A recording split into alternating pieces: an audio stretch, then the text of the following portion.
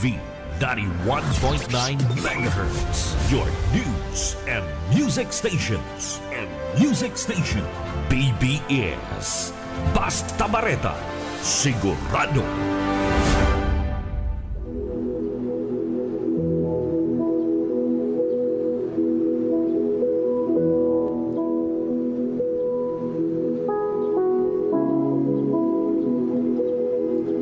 Isang magandang magandang umagang muli sa aking mga kaibigan sa Himpapawid. Tayo muli ay umiere at uh, sa panahon sa oras na ito at sa panahong ito ang biyaya ng Diyos ay sumagana sa pamagitan ng uh, biyaya sa pagkaaga. Ihatid sa inyo ng uh, palatuntunan ito ang kabutihan at ang kalooban ng ating Panginoong Diyos. Nandito muli kami, ang aking pamilya, muling naghahatid sa inyo ng isang napakagandang umaga. Pabati muna po kami para sa inyong lahat. Muli magandang magandang umaga po, Bicolandia. Magandang umaga sa lahat ng ating mga tagapagsubaybay at tagapakinig sa ating palatuntunan ngayong umaga. Ako po muli si Ate Ellen kasama ng aking pamilya na makakasama ninyo sa loob ng 30 minuto. At ako naman po si Kuya Jen, patuloy kayong makinig ng uh, mabuting balita. At ako naman po si Kuya Jericho. Magandang umaga po sa bawat isa. Okay, isang uh, napakagandang araw, Bicolandia. Uh, kayo po ay maging bahagi ng ating gagawin sa umagang ito. At sa mga tagapakinig, isang napakagandang uh, umaga sa inyong lahat. Pag-usapan po natin na uh, ang isang uh, paksa, pero bago yan, tayo po ay manalangin. Kuya Jeco, pwede ba tayo manalangin muna? Sige po, tayo po ay manalangin. Uh, mabanal mga pangyarihan sa lahat, salamat sa pagkakataong ito na muli uh, makapakinig kami ng mga salita, mapag-aralan ng mga salita. Buksan mo ang aming puso't kaisipan mo, nawaan po namin na yung kalooban. At ito po naway manatili sa aming puso't kaisipan at magamit namin sa aming pang-araw-araw na pamumuhay magsilbing kalakasan at pagpapala po nawa ito sa bawat isa.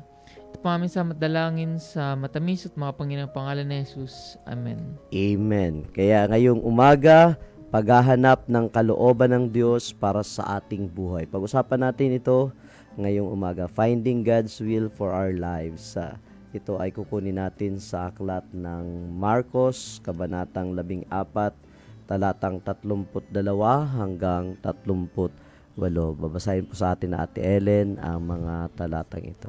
Okay, sa atin pong mga talata sa Mark chapter 14, 32, at nagsirat, nagsirating sila sa isang dako na tinatawag na Gethsemane. At sinabi niya sa kanyang mga alagad, Magsiupo kayo rito, samantalang ako'y nananalangin.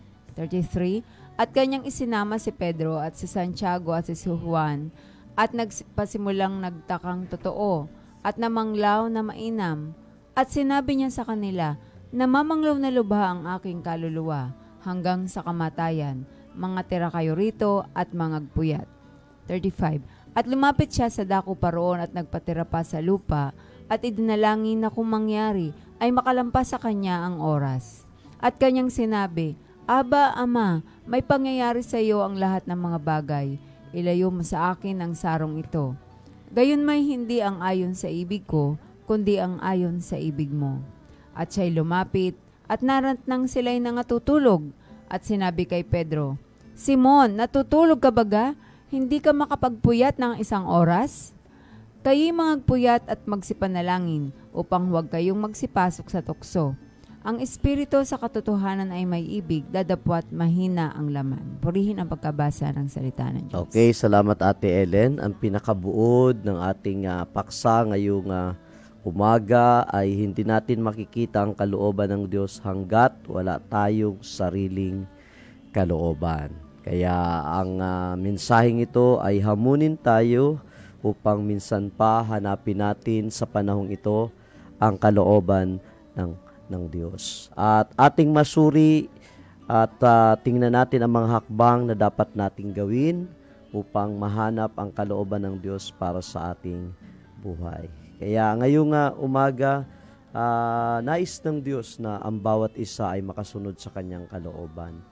At ah, nais ng Diyos na tayo pong lahat ay ah, makaranas ng ah, tunay na pagtatagumpay sa ating buhay araw-araw. Kaya ngayong umaga, Ate Ellen, ah, para sa iyong palagay, ah, para mga tagapakinig ay magkaroon, lang, nagkaroon ng kaisipan na ang isang nanay, ang isang magulang, paano niya sinusuri ang mga bagay upang kanyang gawin na sa araw-araw ay ah, matagpuan niya ang kalooban ng ating Panginoong Diyos. Kasi sinabi mo kanina, magbantay kayo at manalangin upang huwag kayong madaig ng tukso. Ibig sabihin ng tukso ay naandun. Ano ang dapat nating gawin bilang sa, lalong-lalo na sa mga nanay?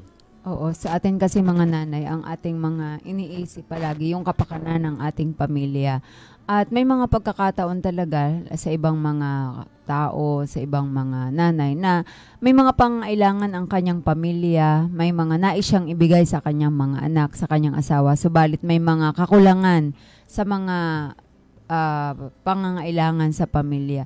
Dumarating yung tukso na para bang hindi mo dapat kailangang bilihin o hindi mo dapat ito kailangan pero natutukso ka na kunin yun halimbawa sa pagbabudget ano sa mga nanay ah, napipilitan parang gusto mong bilihin yon napipilitan kang gastusin yung bagay yung pera na hindi naman nakalaan para doon. Dahil gusto mong maibigay yon dahil alam mong pangailangan yon ng iyong mga anak. So isa yon sa mga tukso. And then isa pa yung mga sa bahay. Gusto mong mag magpasensya, gusto mong huwag magalit, pero minsan dumarating na halimbawa yung mga anak, mga makukulit, natutukso ka na magalit, natutukso ka na, na mapaggalitan sila. Pero bilang isang nanay na nais nating ganapin yung ating ah, yung kalooban ng ating Panginoon. So nandun dapat yung ah, pagpipigil sa ating sarili na na ano ba talaga yung nais ng ating Panginoon. Sa mga kabataan naman, Kuya Jeco, pag sinabing, ah, ah, sabi kasi doon, hindi natin makikita ang kalooban ng Diyos hanggat wala tayong sariling kalooban. Yung, if you have no will of your own, you cannot find God's will. Ano ang masasabi mo sa mga kabataan sa panahon natin? Ayan. Kasi tayo, ano, bilang kabataan, may mga sarili tayong gusto eh. Um, halimbawa, sa pag-aaral sa mga estudyante. Um, tayo gusto natin minsan, um, syempre, yung iba makakaranas yan ng tinatawag na katamaran. Di ba, masarap matulog, masarap magpahinga. Pero may ano ka eh, may mga module ka, may mga dapat kang gawin. Pero natutuksa ka na, ano eh, parang mas, yung gusto mo, yun yung gawin mo. Pero yung kalooban ng Diyos, minsan, o di kaya, ba may noto sa yung magulang mo. Kumbaga, parang mas gusto mo na lang na may galang or ang sarap na ng pagsiselfon mo, may mga ginagawa ka. Parang minsan, ang sarap na hindi sumunod na lang sa ano, tapos bigla kang uutusan. Yun yung parang ano eh, may kalooban ka na, may gusto mong gawin, gusto mong magpahinga na lang. Pero naroon may ano eh, ah, sabi nga ng salita ng Diyos, igalang mo yung iyong magulang, sundin mo sila. O di kaya may mga bagay kang dapat gawin pero hindi mo nagagawa. Kasi nga, mayroon ka sariling gusto. Parang kumukontra eh, dun sa mga bagay na gusto mong gawin. Ah, okay, napakaganda naman. Kay Kuya Jen naman, Kuya Jen sa mga ah, nagtatrabaho, ah, paano mahanap yung kalooban ng Diyos kung yung kanyang sarili ang patuloy na nabibigyan ng ah, pag yung nasusunod niya yung kanyang sarili. Para naman po sa mga ah, nagtatrabaho, alam natin na kanina nga po sabi po ni Ate Ellen, iba-iba ang ating mga ah, iniisip pagkat ah, uunahin talaga natin ang pamilya. Pero minsan, ah, na- nalilihis yung ating isipan na kung saan dapat pala ah, umasa tayo sa gagawin ng Diyos. Minsan, tayo ay nagre-rely sa ating mga kakayanan upang patuloy nating maranasan ang pagkilos ng Diyos. Pagkatiwalaan natin ang Panginoon, pagkat ah, ilaan natin ang focus natin sa Kanya. Kaya natin ang lahat, pero ah, sa tulong ng Diyos, nariyan ang kalooban niya para tayo po ay mas maging ah, maganda ang ating buhay ah, sa pamagitan ng pagsama ng kanyang ah, Espiritu. Okay, salamat. At na, nais ng Diyos na ang kanyang ah, kalooban ay ah, maging ah, maayos sa bawat buhay. Kaya ah, ayaw ng Diyos na kum, maging komplikado o parang isang magic na lang ang mga bagay sa buhay ng isang tao. Kaya ngayong umaga, ah, may itinuro ang Diyos sa ating binasa kung paano tuklasin ang kalooban ng Diyos para sa atin. Tingnan natin to sa verse 32, unang-una, pag-usapan natin.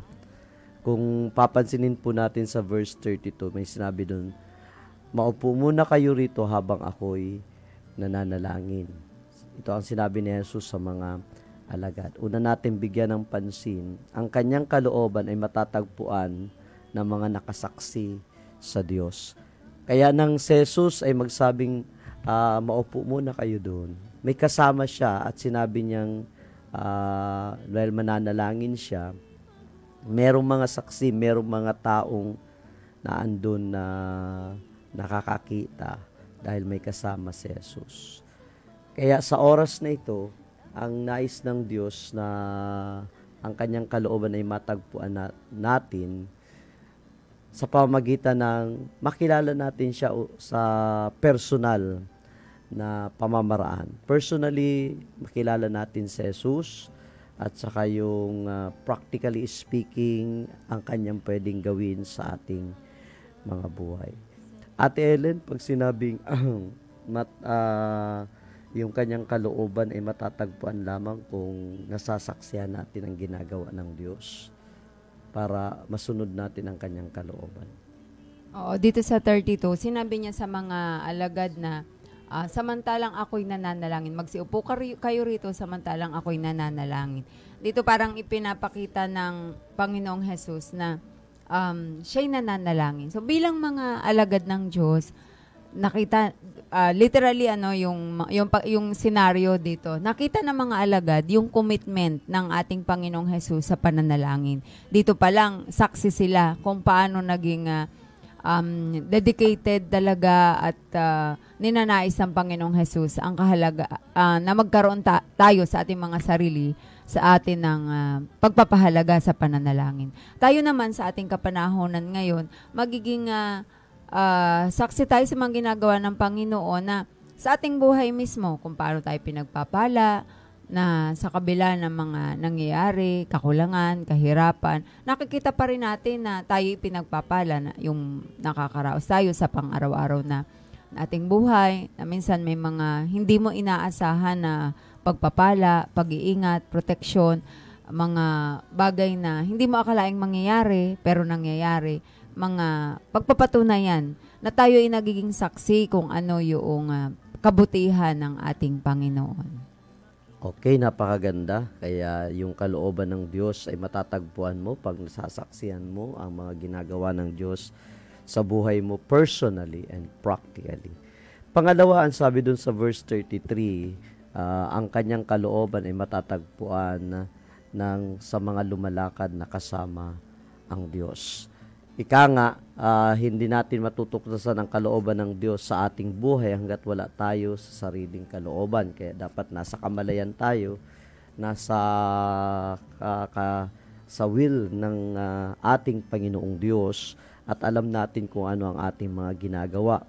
At hindi natin matutuklasan ang kanyang kagalakan o kapayapaan hanggat hindi tayo lumalakad sa kanyang kalooban. Ito yung hinahanap ng tao, gusto niyang maging masaya, gusto niyang maging mapayapa pero hindi niya alam. Kaya ang nais ng Diyos na matuklasan na ng tao ito ah, sa pamamagitan ng paglakad sa kanyang kalooban. Kaya merong mga gawain ang Diyos, merong salita ang Diyos na nagtuturo sa atin upang ah, ipabatid ang kanyang dakilang kalooban. Kuya Jeko, ano masasabi mo sa pangalawang tinukoy na ito? Sa, Yan.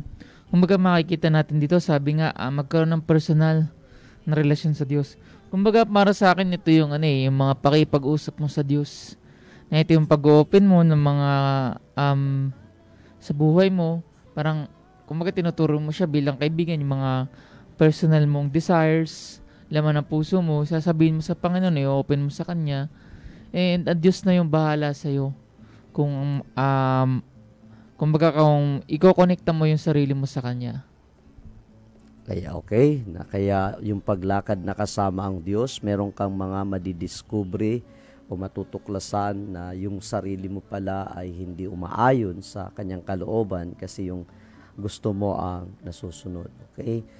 Uh, sa verse 34 to 35 ating pag-usapan, ang kanyang kalooban ay matatagpuan sa mga naghihintay na kasama ng Diyos. Kaya if we wait upon God, sabi nga niyan, kasi ang Diyos ay merong daily appointment sa atin.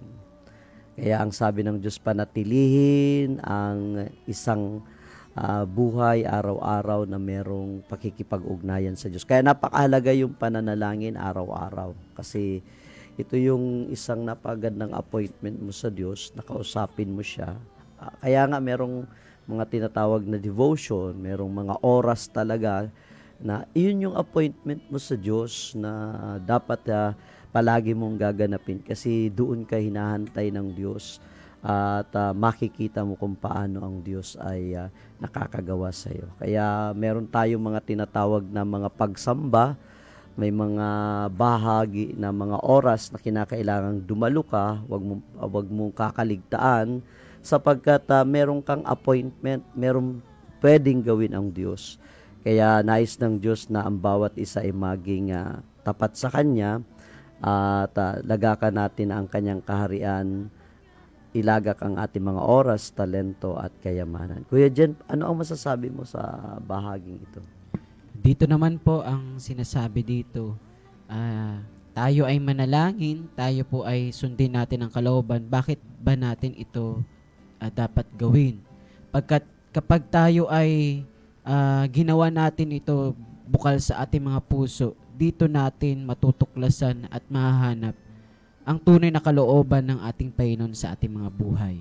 So sa pamamagitan ng pananalangin, kakausapin tayo ng Diyos, makikipag-usap tayo sa ating uh, pagdako sa Kanyang uh, mga gawain. Tayo ay malalaman natin doon kung ang Diyos nga ba ay kumikilos sa atin at malalaman natin doon kung ano ang pinakakalooban sa atin, pinakamalalim na pagkilala natin sa ating Panginoon Diyos. Pagkat magkakaroon tayo ng tunay na at malalim na pakikipagrelasyon sa ating Diyos. Okay, kaya napakaliwanag ng ang puso ni Jesus ay nakalanas ng uh, uh, kalungkutan at halos mamatay na. Sabi niya sa mga alagad, maghintay kayo rito at magbantay. Nanalangin siya, nakipag, uh, nakipag-usap siya sa Ama nanalangin siya sa Diyos uh, sapagkat uh, nalalaman niya ang mga kaganapan at ang magaganap sa Kanya. Kaya ganun din sa atin habang hinihintay natin ang dakilang kalooban ng Diyos. Huwag tayong mabagbag sa kapanahonang ito kahit uh, tayo ay nasa ilalim ng pandemya, kahirapan, kawalan. Lagi nating ituon sa ating isip na merong isang Diyos na hinihintay tayo upang uh, ipagkaloob niya ang dakilang biyaya at pagkakataon na magtagumpay tayo. Kaya sabi niya, ang mga oras natin, talento at kayamanan, hayaan natin na ito ay ipagamit natin sa ating Panginoong Diyos. At sa verse 37 to 38, sabi doon, ang kanyang kalooban ay matatagpuan sa mga nagbabantay sa Diyos. Kaya kung mapapansin natin doon sa verse 37 to 38, Ate Ellen, ano nga yung sinabi doon? Ang sabi sa verse 37, At siya'y lumapit at narat ng sila'y nangatutulog. At sinabi kay Pedro, Simon, natutulog ka baga? Hindi ka makapagpuyat ng isang oras? Kaya't mangagpuyat at magsipanalangin upang huwag kayong magsipasok sa tukso. Ang espiritu ng katotohanan ay may ibig, datapwat mahina ang laman. Okay, anong ibig sabihin nito? minsan pa sa ating paghihintay, tayo ay naiinip, parang uh, hindi natin alam ang ating gagawin, kaya ang tendency dito ng mga alagad, matulog na lang. Akala nila ang pananalangin ay sa Panginoong Hesus lamang at hindi rin para sa kanila. Pero sinasabi ng Panginoong Hesus, habang tayo naghihintay, hindi tayo dapat mawala ng uh, pananabik na pag-asa na, na magkaroon ng pag-asa na siya ay darating. At habang may nagtayo naghihintay dapat tayo ay may ginagawa. Katulad halimbawa ng pananalangin, pag-asa sa mga gagawin ng ating Panginoon, pagganap sa kalooban ng ating Panginoon. At yung palagi nating kasabikan na sa muling pagbabalik ng ating Panginoon ay meron siyang dakilang gagawin sa ating buhay. Katulad ngayon, sa at habang tayo naghihintay, habang hindi pa dumarating ang ating Panginoong Hesus, huwag tayong mainip, huwag tayong mapagod, at huwag malihis ang ating mga ginagawa sa kalooban ng Diyos. Huwag nating isipin na, ah, matagal pa naman bar- darating ang Panginoong Hesus, hindi ko na muna ito gagawin. Ito muna ang gagawin ko.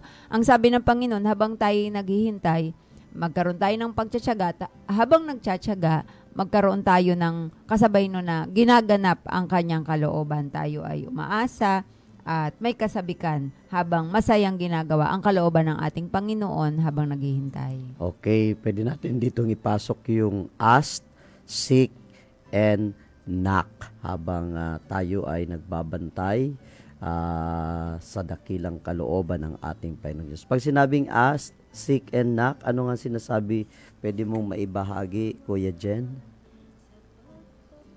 So ito yung pagkakataon na tayo ay pwedeng humingi ng ah, pabor sa Diyos.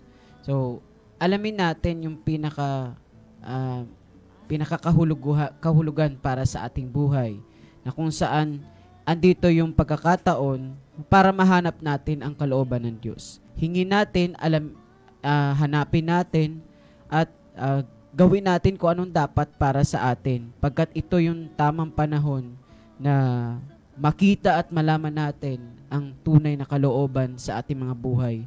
Huwag lamang tayong ah, mawalan ng, ah, ng, ng gana, kundi mas pursigihan natin na malaman talaga natin ang kalooban ng Diyos. Okay, at panghuli, ang kanyang kalooban ay matatagpuan ng mga kusang nagpapasakop sa Diyos. Kaya yung ah, merong pagkukusang nagpapasakop sa Diyos. Sa verse 36, Kuya Jeko, ano ang ah, ating makikita dito sa ating huling ah, pag-uusapan? Okay, ah, basahin mo na muli natin. Um, verse 36 ng Mark chapter 14. At kanyang sinabi, Aba, Ama, may pangyayari sa iyo ang lahat ng mga bagay. Ilagay mo sa akin ang sarong ito, gayon may hindi ang ayon sa ibig ko, kundi ang ayon sa ibig mo. Yan. So, yun nga. So, bilang tao kasi may mga gusto tayo sa sarili natin. Pero alam naman natin, may gusto rin ng Diyos. May plano siya. At alam natin na mas better yung plano ng Diyos. Kung tayo, yung nakikita natin is hanggang dun lang, ito maganda to, okay to. Pero yung the whole picture, may ano, yung beyond that, nakikita yun ng Diyos. Kaya kumbaga dapat tayo, although meron tayong sariling kagustuhan, dapat manatili lang tayo sa kalooban ng Diyos. Kasi sabi niya nga ano eh, ah, alam niyo yung mga bagay na mas ikabubuti natin na mas um, higit na maganda para sa atin. Okay, salamat Kuya Jeko. Kaya ma- ah, dapat nating malaman na tayo ay pinamamahalaan ng Diyos at ah, sa pamagitan ng pagiging ah, pananatili natin sa salita ng Diyos ay ah, may intindihan natin na tayo ay ah, hindi sa ating sarili kundi sa ating Panginoong Diyos. At ah, sa tuwing gagawin natin dapat ma- makikita natin na nagbibigay tayo ng kaluwalhatian at kapurihan sa ating Panginoong Diyos at uh, naandun na ang ating laman ay hindi sumasagana sa ating sariling kalooban bagkus ito ay ah, pinagkakatiwala natin sa Diyos sapagkat dapat nating maalalahanin ng ating mga katawan ay templo ng ating Panginoong Diyos. At laging may hamon sa buhay sa ating pananampalataya dahil alam natin na tayo ay pinamamala, pinamamahalaan ng Diyos. Kaya nagmamature tayo bilang mga Kristiyano nakikita natin ang challenges ng buhay ay nakakatulong sa atin upang lalo nating maintindihan ang mga nangyayari. Kaya ngayong umaga, ah, dapat tayong mauhaw ah, sa mga bagay na malaman natin ang kalooban ng Diyos para sa atin. At sabi nga niyan, ah, merong halaga ah, na dapat nating mabigyan ng pansin to discover ang ah, kalooban ng ating Panginoong Diyos. Merong mga sakripisyo, ika nga. Merong mga bagay na ginagawa natin. Pero those things, sabi nga ng Diyos, ay ah, ah, meron siyang katapat na biyaya at pagpapala. Kaya sa aking mga tagapakinig, sa aming mga tagapakinig, ako'y naniniwala araw-araw hinahanap mo ang kalooban ng Diyos para sa buhay mo at nais mong makasunod sa kanyang dakilang kalooban. Marahil nahihirapan ka, kung paano mo sundin ito at paano mo bigyan ng pagkakataon ng iyong sarili na ipagamit ang iyong buhay. At minsan ikaw ay uh, natatalo ng mga ng iyong emosyon, ng mga hamon sa buhay. At minsan hindi ka nakakakapit sa salita ng Diyos. Hindi ka nakakakapit sa pangako ng Diyos. Ito ang nais ng Diyos na uh, gawin mo sa Kanya. Sapagkat pag ikaw ay humingi sa Kanya, ikaw ay bibigyan. At pag ikaw ay, pag hinanap mo siya, ay matatagpuan mo siya. At pag ikaw ay kumatok, uh, malaya kang pagbubuksan ng ating Panginoong Diyos sapag ito ang kalooban niya sa bawat isa. At Ellen, sa huling uh, mga pananalita, ay uh, pwede bang uh, makuha ko ang iyong huling mensahe. Okay, salamat. At sa muli sa ating mga tagapakinig, sa mga ina ng tahanan na nakikinig ngayong umaga, ang ating Panginoong Hesus ay uh, naglaan ng kanyang buhay para sa bawat isa sa atin. Inialay niya ang ating uh, ang kanyang buhay para sa atin. Manatili tayo sa presensya ng ating Panginoon. May mga pagsusubok, may mga hamon, may mga tukso bilang mga ina ng tahanan. Subalit, manatili tayo sa kanyang kalooban. Alam natin na uh, handa niyang ibigay ang lahat para sa atin. At tayo naman bilang mga ina ng tahanan ng mga sumampalataya at kumilala sa Kanya, gawin pa rin natin kung ano ang nais ng Panginoon na makakapagluwalhati sa Kanya at makapagbibigay kaluguran sa Kanyang pangalan. Bilang pasasalamat sa mga ginawa niya para sa atin. Okay, Kuya Jen. Sa pagkakataon pong ito, patuloy natin na iparanas natin ang maranasan natin ang tunay na kalooban ng Diyos sa pamagitan ng pagsunod natin sa Kanya at ang bawat mga uh, uh, uh, ka- uh, kautusan na gusto, na gusto ng Diyos na maranasan natin upang patuloy tayong uh, mapagpala ng ating Panginoon. Kuya Jeko. Okay, yan. Ano, yung magtiwala lang tayo sa Panginoon uh, may sarili man hmm. tayong plano, may sarili man tayong iniisip, maganda man yung planong yun para sa atin. Pero magtiwala ka lang sa gagawin ng Diyos, sumunod ka lang sa kalooban niya, at Diyos na yung bahala sa iyo. Pag Diyos na yung naging bahala sa iyo, um, siya na yung gagawa sa buhay mo, yung mga bagay na hindi mo magagawa, kaya yung gawin ng Diyos. Masaayusin niya yung buhay mo. Okay, at napakahalaga kaya nga may mga churches, uh, may mga lingkod ng Diyos na nangunguna upang uh, ikaw uh, ay matagpuan mo sa iyong sarili kung paano mo nga uh, gagawin ang kalooban ng Diyos at kung paano magpasakop sa ating Panginoong Diyos. Kaya nga mayroong mga leader na ibinigay sa atin upang tayo ay matuto magpasakop at uh, sabi nga niyan, paano ka magpapasakop sa Diyos na hindi mo nakikita samantalang yung nakikita mong leader na tinuturi mong tatay sa pananampalataya ay hindi mo nasusunod, napakahirap. Kaya nais ng Diyos na ipaunawa sa atin na ang mga leader, ang mga pastor ay uh, isang pagpapala sa mga churches. Kaya nais ng Diyos na ikaw ay pagpalain at tulungan. Kaya ngayong umaga, lalo kang mauhaw, manalangin, uh, magtiwala sa ating Panginoong Diyos. At ngayong uh, umaga sa ating kaunting uh, segundo, tayo po ay mananalangin sa ating Panginoong Diyos. Amang banal na mapagpala sa lahat sa umagang ito, patuloy ko pong inihahabilin sa iyo ang lahat ng mga nanunood at ang mga nakikinig. Patuloy mo silang tulungan, gabayan at sa araw na ito, abutin mo po ng iyong mapagpalang kamay ang bawat pangangailangan ng bawat individual. Ang may mga problema, Patuloy mo silang tulungan na matagpuan ang solusyon. Na may mga karamdaman, patuloy o Diyos ng iyong mapagpalang kamay, idako mo sa kanilang uh, mga buhay, saan man sila nakakaranas ng uh, hirap at nararamdaman ang iyong mapagpalang kamay, Jehovah Rapha, the great healer, bring forth healing power upon your people who are afflicted. At ang mga tao, O Diyos, ang mga lingkod mo, O Diyos, na nasa banig ng karamdaman sa oras na ito, Patuloy mo silang tulungan, pagkaloob sa kanila ang uh, uh, recovery, pagkaloob mo sa kanila ang divine healing, ang miracle healing sa oras na ito. Salamat din o Diyos sa mga pamilya na patuloy mo, O Lord God, na pinagpapala at uh, pinagbubuklod-buklod sa pamagitan ng iyong pag-ibig ng iyong mga at ng iyong mga salita. Salamat Panginoon sa araw na ito at ang buong Pilipinas, ang um, ang ah, bayan na ng Naga City, ang probinsya ng Camarines Sur, pagpalain mo sa araw na ito at ang biyaya ng Diyos ay sumagana sa bawat isa. Sa iyo po, O Diyos, ang kapurihan sa araw na ito sa tanging pangalan ni Jesus we pray.